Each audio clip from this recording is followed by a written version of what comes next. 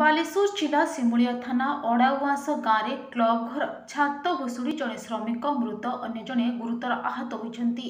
ଆଜି ଅଡ଼ା ଗାଁର ସେକୁନା ଓ ଭଗବାନ ବେହେରା କ୍ଲବ ଘର ଛାତ ମରାମତି କାର୍ଯ୍ୟ କରୁଥିବା ବେଳେ ଛାତଟି ଭୁଶୁଡ଼ି ପଡ଼ିଥିଲା ଯାହାଫଳରେ ସ୍ଥାନୀୟ ଲୋକମାନେ ଦୁଇ ଜଣଙ୍କୁ ଉଦ୍ଧାର କରି ସିମୁଳିଆ ମେଡିକାଲରେ ଭର୍ତ୍ତି କରିଥିଲେ। ସେଠାରେ ତାଙ୍କ ସ୍ୱାସ୍ଥ୍ୟ ଅବସ୍ଥା ଅଧିକ ଗୁରୁତର ହେବାରୁ ତାଙ୍କୁ ଭଦ୍ରକ ମେଡିକାଲକୁ ସ୍ଥାନାନ୍ତର କରାଯାଇଥିଲା।